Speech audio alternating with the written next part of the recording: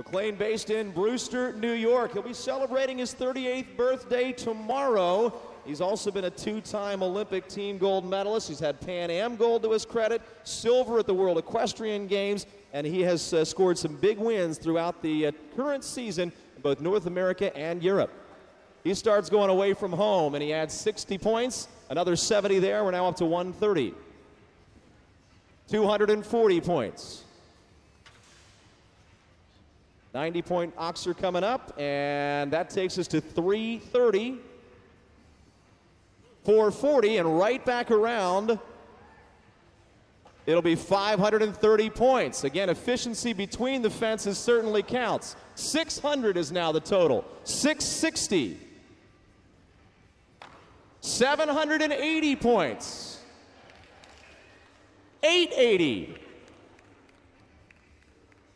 Remember, the Joker fence only an option in the bonus round. Down with that fence, so we're still at 880. It will be 980 points. And through the finish line, they will go with a 980 score. That uh, final obstacle coming after the tone, 53.809 was the time there. Ladies and gentlemen, there's a potential new lead on the horizon if they can clear the double or nothing. And here comes that tone. 20 seconds is the amount of time they have to try. 1,960. It will be a new top score.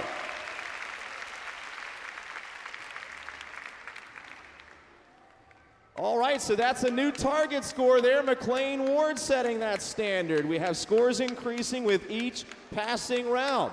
So now we're going to see if Jonathan McCrea can improve on that. A very respectable effort by McLain Ward.